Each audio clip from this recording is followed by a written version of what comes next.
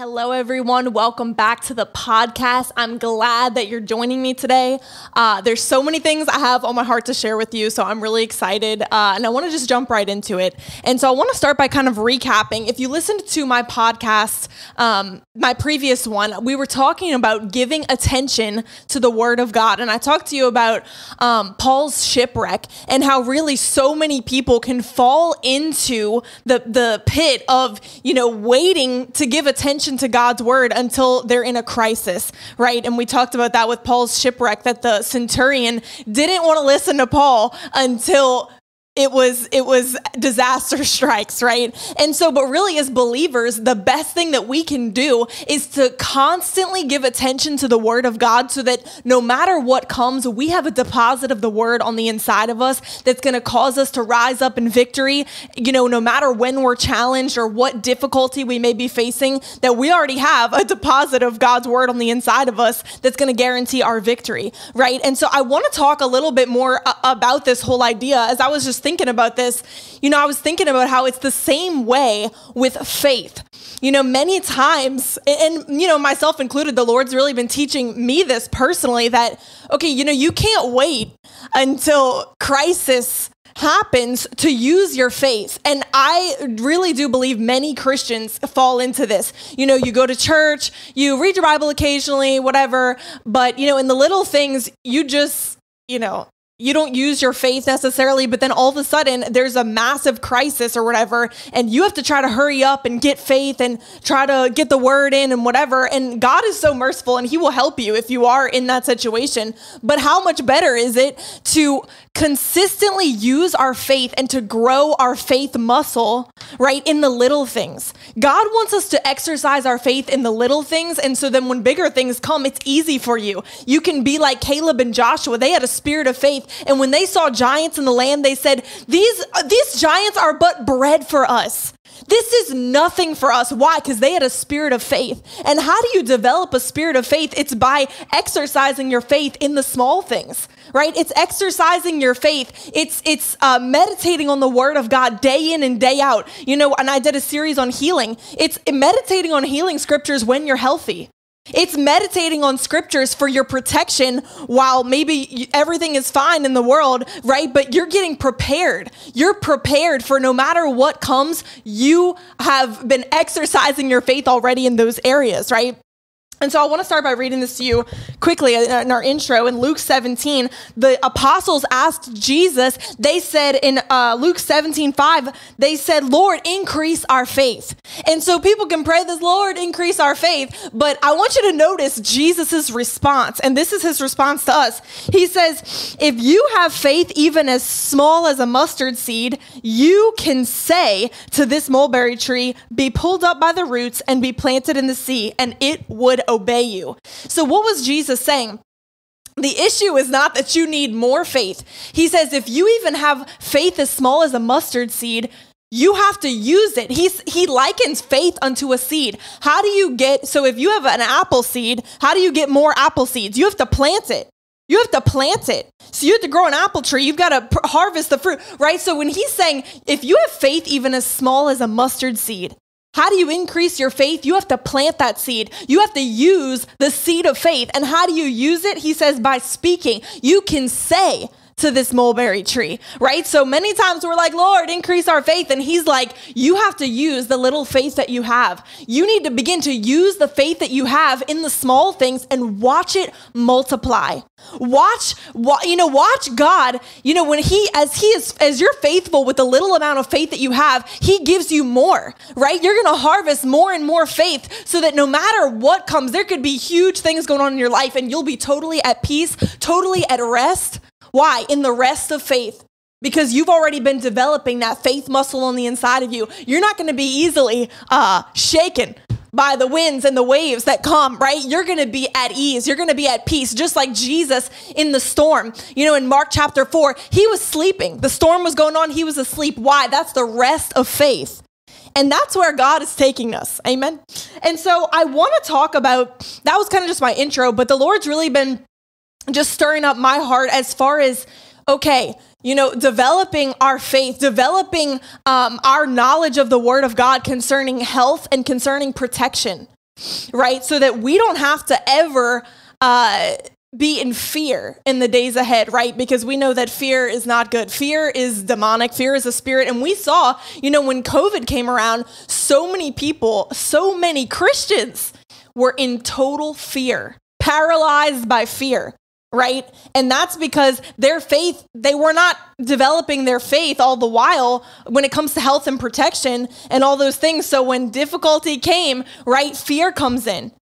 And so, as I, I'm going to share with you from the Word of God some things about health and protection, and I believe that it's going to build your shield of faith so that no matter what comes, you're never going to be in fear. You're going to be in total peace. You're going to be at rest, in the rest of faith, confident in the God that you serve, that your God is your shield, that He is your protector, that He is your refuge, right? No matter what comes. And what's awesome about this is when you begin to meditate on these truths ahead of time, it doesn't matter what comes your way. The victory, the victory will be immediate. The victory will be certain no matter what comes. And so I want to start by reading uh, Psalm 91, verse 1. And I have so much I want to unpack for you just in the first verse.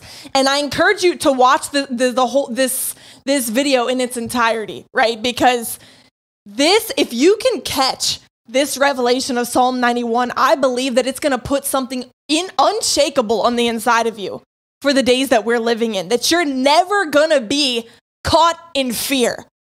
So let's read this Psalm 91 1. And we're going to break it down after. But Psalm 91 1, it says, He who dwells in the secret place of the Most High shall abide under the shadow of the Almighty. And so, this scripture, basically, this first scripture is kind of saying, okay, who qualifies for Psalm 91? This, this first scripture is kind of the main key to all the promises in Psalm 91 for protection right? And so we need to understand this first verse. And so i want to i want to unpack it for you. And i really i have so much. I hope i can get through it all with you because it's just so good. So the first thing is it says that he who dwells he who dwells. And so if you look at that hebrew word it actually means uh, it can also mean he who sits down he who sits down, he who is seated. And so, and then it says in the secret place.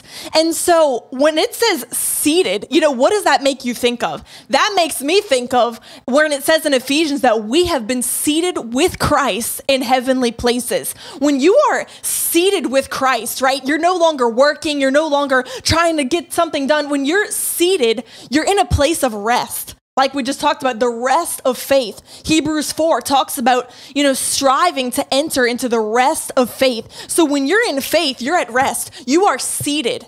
We are seated with christ confident of our position with him right? And so i want to read you this also when it says that you know jesus whenever he died right he, he bore our sins in his body on the cross. He was raised back to life right? And the bible says that god raised him to new heights in heaven and that jesus sat down at the right hand of the father. In hebrews 1 3 it says that that having purged our sins jesus sat down Having purged our sins, Jesus sat down, signifying that the work was finished. There was nothing left for Jesus to do.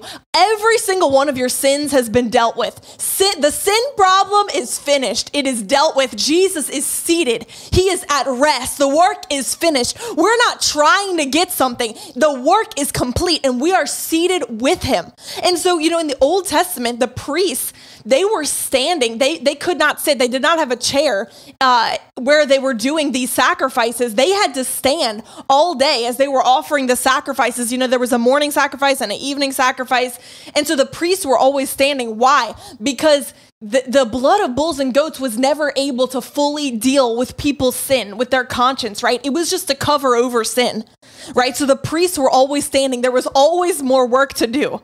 There was always more work to do to deal with the sin of the people, to deal with the guilt of the people, to, to try to fix the consequences of sin. But that's why it's so powerful that it says, after having purged our sins, he purified us of our sins. Jesus sat down he sat down, signifying that he is, the Bible says he is the priest after the order of Melchizedek. He now is the priest that holds his office unchangeably. And as he is seated, that signifies the work is forever complete. There is nothing left to be done about your sin. That's why it says in Romans 10, don't seek to bring Jesus down or to bring him up. You know, the work is finished. It says that the word of faith is nigh you. It's it's it's in your heart and on your lips right? There's nothing left. Many times, oh, Jesus, if you could just come down and touch me. Oh, Jesus, if you could just come down and deliver me. Jesus, if you could just come down and save me. But really, Jesus is seated and we are seated with him. So everything we do is from a place of rest, it's from a place of victory, it's from a place of the work is finished. Right? Jesus is seated and we are seated with him. So it says in Psalm 91 He who sits down, I encourage you to sit down. Stop trying to get, you know, Sit down. When you enter into the rest of faith, you will sit down. You sit down, the place of rest, the place of faith, knowing that what Christ did was on my behalf. I am seated with him. The same way he is seated, I am seated. And so it says, seated in the secret place. Where is the secret place? Because, you know, you can read this verse and of course, the devil will want you to think, "Oh, you're not qualified for this." It's it's those who dwell in the secret place. That's that's people who pray for 9 hours a day. Okay, no, that's not what it means. Okay, and you should pray for nine hours a day if you can, but many of us cannot. We're working, we're doing things, right? But it says that he who dwells in the secret place, where is the secret place?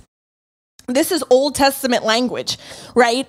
Old Testament, everything was veiled. You know, Jesus had not come yet. It was all it was all types and shadows. It was mysteries, right? But it says in Colossians chapter 1 verse 26, it says that the, the secret that had been hidden for ages past is now revealed, and it is Christ in you, the hope of glory. This is the secret. The secret is that Christ lives in you. The secret is that we have been joined with God because of what Christ has done. The secret is that you're in God and God is in you. Jesus said in John 14, he talked about when he was going to send the Holy Spirit, he said, I'm preparing a place for you a place for you. There's a place reserved for you in God, and the Holy Spirit is going to take you there. That's what Jesus was telling them. And Jesus, on the day of Pentecost, he poured out the Holy Spirit, right? They, they were born again, filled with the Holy Spirit, and th- the Holy Spirit is the one that takes us to that place. There's a place reserved for you in God. It's the secret place, it's the place where you are in Christ and he is in you. You are seated together with him in heavenly places. That is the secret place. If you've been born again, the day you got born again, you are in the secret place. And we have to be conscious of this, right? What is our part? Our part is to meditate on these truths, to be conscious of the fact that when, when disaster comes, when, when fear is trying to come, you are conscious of, no, I am seated with Christ in the secret place. I'm in God and He's in me, right? And so Let's go on. So it says that he who sits down in the secret place, we are in Christ, seated with Christ, secret place of the Most High shall abide under the shadow of the Almighty. So when it says the Most High, you know, that's one of the names of God. There's many names of God in the Bible. And so one of the laws of uh, studying the Bible is the law of first mention. So the first time that God reveals himself as God the Most High is going to reveal something about that name, right? So the law of first mention. So the first time in the Bible that we see this name of God, God Most High, God revealing himself as the Most High God, the first uh, occurrence of this in the Bible is in Genesis 14 18. And it says that Melchizedek, the king of Salem, which is a type of Christ, the King of righteousness, brought out bread and wine. Now, he was a priest of the God Most High, and he blessed Abram. And so, what I want you to catch from this is this is a type of Christ bringing out the bread and the wine the bread and the wine, which we know is a type of the body and the blood of Jesus, the sacrifice of Christ, what he paid on the cross. So even you see in Psalm 91, right, which is Old Testament, you see Christ revealed, even just in this first verse. It says, He who sits down in, in the secret place with Christ, the secret place of the Most High. When it talks about the Most High, we can look at that and see God the Most High The priest, the priest brought the bread and the wine, right? There's a connection between the God most high. How can we, how can we be blessed by God most high? Because the bread and the wine has been provided by the King of righteousness, which is Jesus Christ. I tell you what, this is good stuff. Because it says, it says that, that the Melchizedek blessed Abram. Why could Abram be blessed and God changed his name to Abraham? Why could that happen? Because Melchizedek, a type of Christ, brought the bread and the wine. The reason that you can have the blessing of protection today is because of the bread and the wine. It's because of the body and the blood of Jesus, because of the price that was paid for our sin, for our healing, for our protection, for our peace, for our wholeness the bread and the wine. Amen. So he who dwells in the secret place of God Most High, the God that blesses us because of the bread and the wine.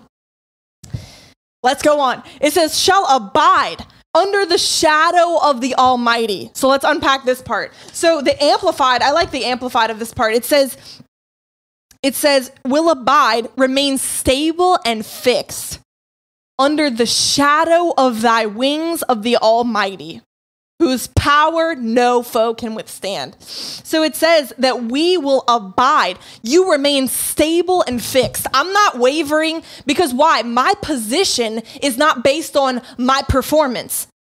My position is not even based on my obedience.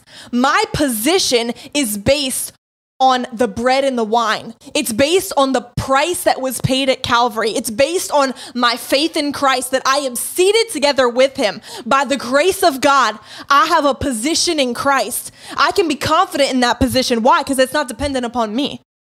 So I am stable and fixed. We are abiding in this place, right? It's not like you're in and out. You're not in and out. Oh my gosh, am I protected today? Am I not protected today? I messed up last week. Now I'm not under the protection of God. Whatever. You don't have to worry about that. It says that we are stable and fixed under the shadow of his wings. So when it says shadow of the wings of the Almighty, what immediately came to my mind when I was reading this this week was um, was two scriptures. The first one being Malachi 4 2. Um, it talks about the, the, his wings. It says, Unto you who fear my name shall the Sun of Righteousness arise with healing in his wings or in his beams of power. So when it talks about Jesus, this is talking about Jesus, obviously. It's a prophecy about Jesus. It says, The Sun of Righteousness will arise with healing in his wings. His wings, you know, it can look like wings. It's talking about the beams of power that flow out from Jesus. You know, when Jesus uh, uh, arises, right, there is glory, there is power emanating from him, right? And it looks like it could, you know, it's likened unto wings. The wings of his power, the beams of his power. The Bible says in Hebrews that Jesus is the outshining, the radiance of God the Father right? So there is a power there is a there is a light there is a glory that is beaming out from god from the Sun of righteousness right? And it says that there is healing.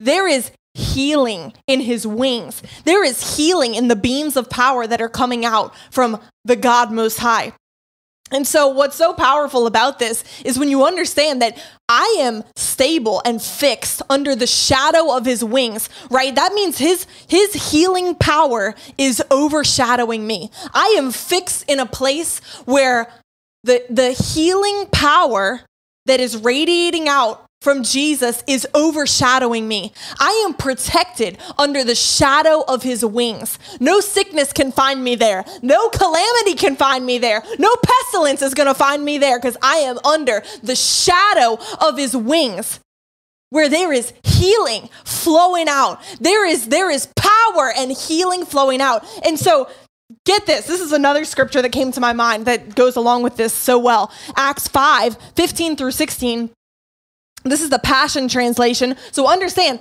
the Bible says, like we talked about, Christ in you. So this is talking about Peter, but understand that Jesus Christ was alive in Peter. It says that when Peter was going to walk by, they carried the sick out into the streets.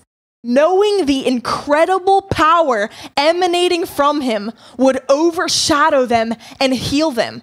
And everyone everyone was healed. This is powerful stuff. This means that everyone under the shadow of the power that was emanating from Peter, which could also be the power, uh, you know, the power emanating from Christ, right? Everyone was healed. There is healing in his wings. There is healing. When the power of God is overshadowing you, there is healing. There is health for you. There is protection for you from every plague and every deadly disease. Amen. So the next part stay with me. I'm almost done. I know it's getting kind of long. But the next part, it says, under the shadow of the wings of the Almighty. So the Almighty, I, am just going to touch on this briefly. I just have to. The Almighty, what is the first occurrence where God reveals himself as God Almighty? The first occurrence is uh, let's see, it's Genesis 17. So this is so powerful. I won't even read it, but it, Genesis 17, verse 1, the first occurrence where God says, I am God Almighty. First of all, that denotes his power. I am Almighty. I am the Almighty God, the God that is full of power, right? Like we talked about, his, the, his power is what creates the shadow the shadow of his power. And it says in Genesis 17, it says that uh, God reveals himself to Abraham and he says, I am God Almighty. And today he said, I make a covenant with you and your descendants. And he says, I will multiply you. And he says, As for me, my covenant is with you, Abraham. God, the, this, this, when it says God Almighty, this is referring to the covenant keeping God. And God would say that to you today. As for me, my covenant is with you, and my covenant I shall not break. That covenant he made with Abraham is still in effect today. And the Bible says in Galatians that whoever puts their faith in Christ is the seed of Abraham. We are the descendants of Abraham. God said, I will make a covenant with you, Abraham, and with all of your descendants after you, right? And so we are a part of that covenant because we are in Christ. We are the seed of Abraham. So when it says, when it talks about the the shadow of the almighty it's and it says that you'll be stable and fixed right? This denotes covenant keeping god. God's not going to kick you out. Covenant keeping god. We are in covenant with god. I am stable and i am fixed under the shadow of his wings where there is healing flowing. There is protection flowing out for me I tell you what, that's good stuff. All right, this is the last thing I'm going to say. I just want to read you this first part of Psalm 91, verse 2, and then we'll, we'll end it there. So that was verse 1. That was all verse 1. Verse 2, it says, So because, you know, all the things we just learned in verse 1, we are dwelling in the secret place of the Most High. We're abiding under the shadow of the Almighty. So I will say of the Lord, He is my refuge and my fortress, my God, in Him do I trust. So it's, and what you, I want you to catch here is it says, because of this, verse one, I will say of the Lord. I will say of the Lord. I will say, I will speak a thing, right? Because, like it says, the same spirit of faith, I believe, therefore we speak. Faith speaks, faith has a voice. And so, what's so powerful about this that the Lord was showing me, man, it just made me, I was so emotional this week thinking about this. But why can you say of the Lord that he is your refuge? Because it says, you know, when Jesus was going to the cross, it says in Isaiah 53, it says that he opened not his mouth like a lamb led to the slaughter. And you know, when he when they were coming to arrest him, remember Peter cut off that guy's ear. He was like, We're going to fight you, whatever. And Jesus is like, Look, if I wanted to escape this, I could call for 10,000 legions of angels to come and rescue me. And understand, Jesus could have done that. Jesus could have opened his mouth and called for angels to come and rescue him. But because of his great love for you, because he saw you, because he wanted you to be able to open up your mouth and say, The Lord is my refuge, he kept his mouth shut. Jesus opened not his mouth. And he was like a lamb led to the slaughter, so that you today can open up your mouth and boldly declare, The Lord is my refuge. He is my place of safety. He is my shepherd. He is my shield. He is my exceeding great reward. He is my deliverer. He is my protector. He preserves me from trouble.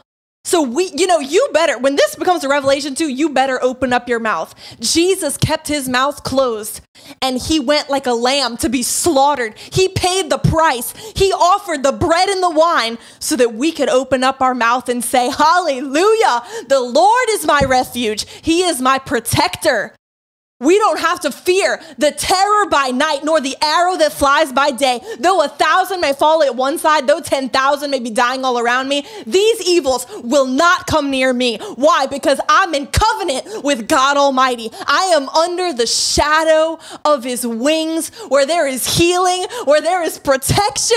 Hallelujah. Where there is peace and there is joy. In the days that we are living in, things may be getting difficult, things may get darker in the world, but I am seated at total rest, in total peace, under the shadow of his wings. Oh, man, I tell you what. So I encourage you, going back to what I said at the beginning, I encourage you to exercise your faith in small things, even if it's something as small as a cold.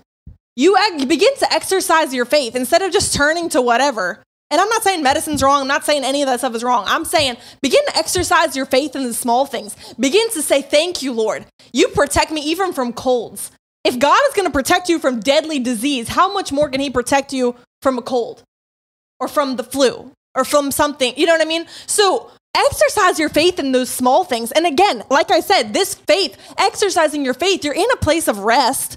You strive to enter the rest. What is the striving? The striving is just meditating on the word. You just give attention to the word. That's our only part to play. You give attention to the word. You hear the word. You meditate on the word. You speak the word. Even if you're starting off with one scripture, you know, you start where you are. You start where you are. You start where you are, and God will honor your faith wherever you're at. Even if you have faith as small as a mustard seed, when you begin to say, when you begin to open up your mouth and you begin to exercise that small seed of faith, you just watch your faith is going to grow exponentially, right? As you begin exercising it in the small things, in the day to day, you begin to thank the Lord. Thank you, that, Lord, that today I am protected. Today I am healthy. Today, Lord, I'm under the shadow of your wings. You begin to meditate on these verses. Let them come alive in you. Like we talked about previously, let that morning star rise in your heart. Let that water of the word be turned into wine. Our only job is to fill up with the water. Jesus is the one that comes and turns that water into wine. Jesus is the one that causes that small light to rise in your heart so that the, the light of God will flood your heart. Right. And I believe that as you do this, as you take these small steps, that your faith is going to grow exponentially in the days ahead in Jesus' mighty name.